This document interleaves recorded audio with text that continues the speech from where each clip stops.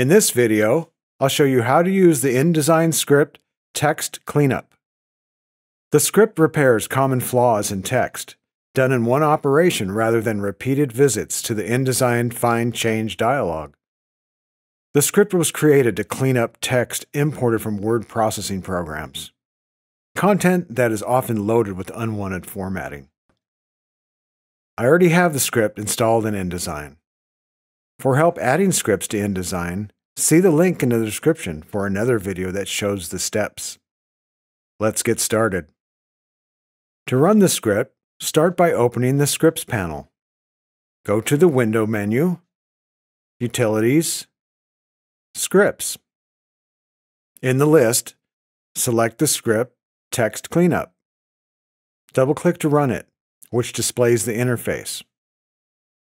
The interface has five sections Search, Spaces, Tabs, Other, and Settings. The first section, Search, is whether to process the entire document or only the selected story. If nothing is selected, the story option is disabled. The Zoom option is how much to magnify the view. This is to better show changes to confirm. For the remaining options, what each does is mostly obvious, but some are not so obvious, which I'll talk about after the example next. Here I have an example document open in InDesign. With the Scripts panel open, select the script Text Cleanup. Double-click to run it. To demonstrate, I have most options enabled. Click the OK button to begin. The view is magnified to the zoom value, and a confirmation palette appears on screen. This palette may be moved anywhere on screen that you like, even to a secondary display. The script begins with Remove Zero Width Characters. This option and removing other bright characters are done first because they can affect other options. It's important to note this option removes special InDesign markers like bookmarks and text anchors. So the option is best reserved for newly imported text, like from a messy Word doc, before other work is done in InDesign. Now we'll talk about the buttons on the confirmation palette. For this script, the meaning of OK All is not every change to make. It means all changes for the current option.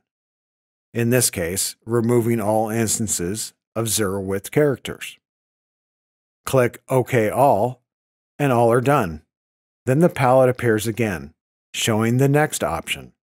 Change special space to normal space. Skip All is like OK All, only the reverse. The remaining instances are ignored. Then on to the next option, Change spaces to tab. I had set this option to make four or more spaces change to a tab. And here is the first example of amateur formatting we have to deal with. Aligning columns of text with space characters. Let's try the button Confirm. The change is made, but we're still here to see it instead of moving along to the next. The palette buttons change to OK and Undo. This gives a chance to put it back if you don't like the result, or we're just clicking too fast. Click Undo and it's restored. Confirm it again, but this time click OK. Now it acts like normal. The change is made and we move on to the next. Anytime you like, click OK instead of Confirm. Your choice. And again, and again, for each instance. Or maybe you've seen enough and you're sure the rest will be okay. Click the button OK All at any time. And we move along to the next option. Same goes for skip and skip all. You get the idea. If you regret a change, click Cancel anytime to stop everything. Any changes made still remain, but you can go to the Edit menu and choose Undo. This puts the document back to before running the script. Now I'll explain the not so obvious options. First, fix flopped apostrophes.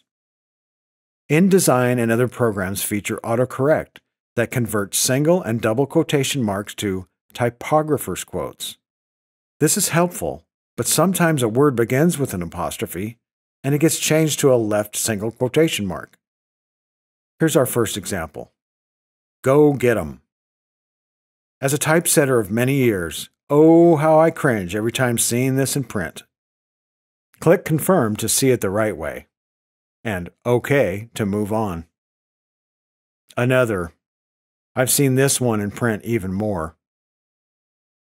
The next option finds another flaw widespread in print, thanks to autocorrect. Fix foot and inch marks. That's not an inch mark. Confirm to see it right. Same goes for foot. The script also finds fraction glyphs. When all changes are done, the user is alerted that processing is complete. If you use the option of changing spaces to tab, you'll need to set tab spacing for the affected text. Or set a paragraph style if you already have one. The last area to cover is the Settings section. I'll choose Default Settings. Then change some options to make clear they are not default. In the Settings section, click Save. Give the settings a name. Click OK, and the current values are preserved. Open the Load dropdown, and saved settings can be restored. If this solution works for you, like the video and subscribe to this channel. It keeps more videos coming.